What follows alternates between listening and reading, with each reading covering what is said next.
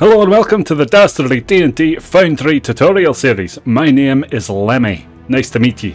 Today we're going to be taking a little look at how to build your own landing page. Now you've seen landing pages before. A lot of uh, a lot of streamers will use a landing page just to make the, the setup look very pretty. But I have to say it is incredibly useful to use a landing page even if you're playing in your own private games. So first things first, we are going to delete our default scene there because we don't need it and we're going to create a new one. I'm going to simply call this landing page. Now as you can see it is very uh, very bland, uh, very grey, not, not much going on here. Um, so my plan, our plan, is to create something that looks like this. This is the landing page that I use for my own Dungeons and Dragons live streams, which you can catch almost every Saturday on YouTube. So back to Foundry, we are going to be making a very similar one. Mind you, this is uh, more of a generic landing page we'll be making today because I don't have a particular campaign in mind. So let's begin by simply reducing the background color to black. Then I'm going to go to my grid. I'm going to change the scene dimensions to 2560 by 1440. I've had to untick this uh, this link there, which keeps the aspect ratio the same. Now the reason we're using 2560 by 1440 is it is a fairly common screen resolution and it also has the benefit of looking good on uh, lower resolution monitors like 1920 by 1080. We are also going to remove this. We don't need a grid at all so we'll change that to gridless. And then finally we are going to reduce the padding percentage to zero. We will need a background image before we begin.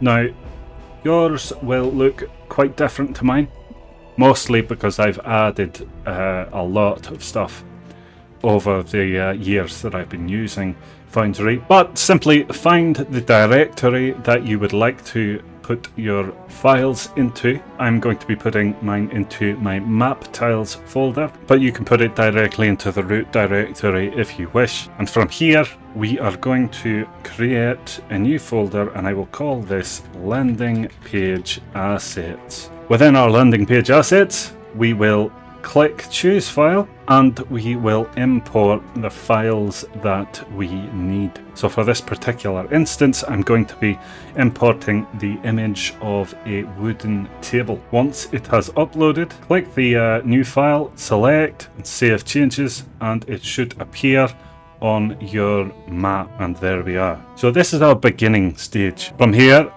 well the world is your oyster but we will be using the tiles over on the side here, you can see tile controls. If we click on that, we go down until we see this folder icon. That is your tile browser. Opening that should bring you to the folder that you were just in. Over here, I am going to import all of my assets to the landing page assets folder. Alright, I have now imported all of my assets. You can find these on my Patreon with our tile browser over at the side here, we can import our assets. So for example, I have a tablecloth here I can place right in the center. It is fairly important that you build this up from bottom to top. That way you don't have to fiddle around too much with trying to reorder your tiles. For example, if I were to place this pile of coins and then place my tablecloth, I would have to click on the tablecloth and over here we have move down and move up. And these will move it to the bottom unfortunately not one layer down. So with that in mind you want to build them up layer by layer essentially. Now this can be made easier with a module called levels Levels allows you to create actual layers, much like a Photoshop file, where you can place all of your objects. We will not be using that today. We are going we are going module free We'll begin just by placing some of our uh, some of our tiles. We have some prefabs here that I've made where our gold coins are already in a nice pile there, but we can also put a few stragglers that have fallen from the pile. We have a tankard of ale, place that over there, and because we've got ale and we don't have a coaster, let's put a little coffee ring on the ground there. As a matter of fact, because because we're using a coffee ring, let's make that a cup of coffee instead. Scale that up, make it look like it matches the uh, rough size of the coffee stain there. And there we have it. Next, let's talk about overlays. So, included in the pack provided on Patreon, there are a variety of overlays, such as this one here, uh, which is uh, water that has spilled onto the scene there.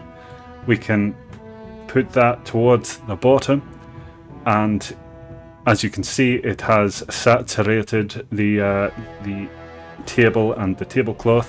Otherwise, we have a few more. Uh, for example, we have, let's place that in here, we have some sand. We can do the same here, and you know what, let's put the sand at the bottom and have the tablecloth over the top. You can also have the same file, uh, the same tile in there twice. So let's do that. Let's add another pile of sand into our scene. And as you can see, this one is now over the top. And what we can do now is double right click on our sand and let's reduce that opacity so there's a little bit of sand there over the top of some of our other tiles. I want to make sure that we get that as close as possible to the uh, the original underneath and then we will add our map. I very much like having a map and you could go and draw your own map on here if that's what you would like to do. Me personally, I don't quite like the drawing tools available in Foundry, so we won't be doing that. Instead, we have some hollowed out parchments here, like so. And what we will be doing is importing our map first. So let's find a map. Today we'll be using this one. Very large.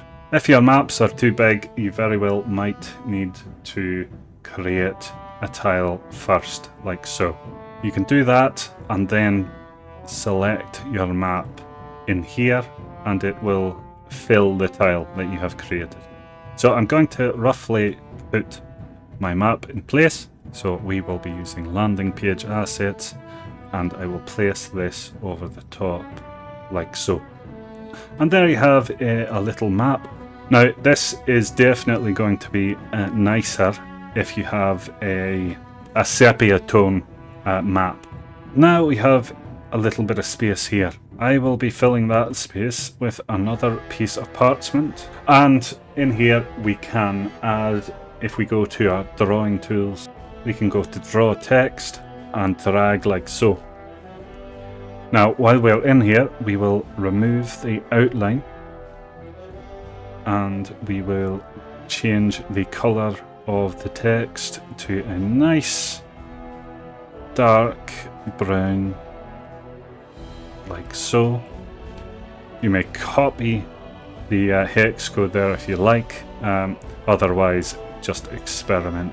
Now in this section where it says text label, that is where our actual text will go. So we will call this tutorial world and let's make that font size uh, large, so let's say 120. We can change our font. That's nice. That's uh, reminiscent of the uh, Dungeons and Dragons font there as well. Place that there, and we can. Let's add a candle down here. Scale that up a little bit, and that can be where we are going to add a source of lighting to our scene that will bring the whole thing to life in just a moment. We can also add just some other knickknacks about just to make the place look busy, make it look uh, lived in. Now, you don't have to make sure everything is fully in the scene either. Let's have that just outside the scene with a little bit. Let's let's place a coin so it's just slightly on top of the dagger there, just to add a bit of dimension to it.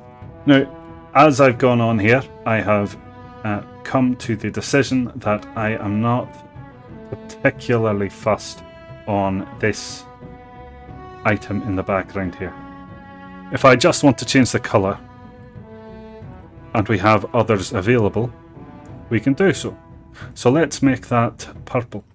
And we have our purple there now. We can perhaps scale some of this up. I think that the map is a very important part of this scene, so I will be moving other things around to make room for it. Keep in mind that lay layering your objects like this, placing things on top of one another, while it uh, can look messy, it does add an air of realism to the scene. Over here I usually leave a little bit of space for my players' icons. I'm still not particularly happy with the tablecloth in this particular scene. So. And there we have it, we have built up our landing page. Alright, now that we've got to this stage, we can begin to think about our lighting. If I add a light source over here, let's make that fairly large. I'm going to go to light animation and turn this into a torch. The torch is a great and very versatile uh, animation source, uh, uh, animation type rather, and you'll have a flickering light coming from this direction over here.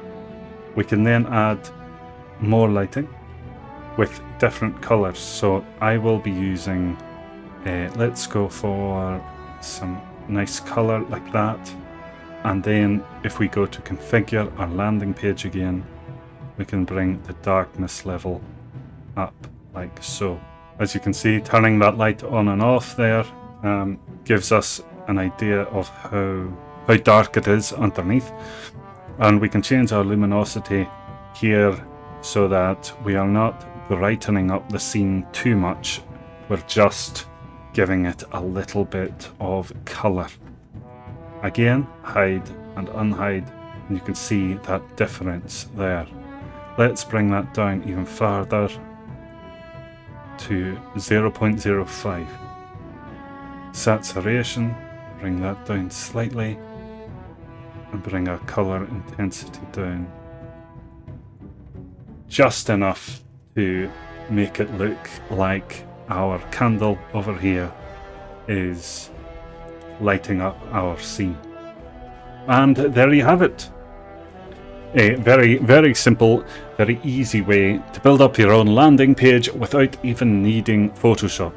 Now, for those of you out there that would like to be able to use Photoshop in the preparation of their landing pages, I can help you out there too. Simply subscribe to the channel, keep an eye out for the next landing page tutorial where I will go over the process using Photoshop.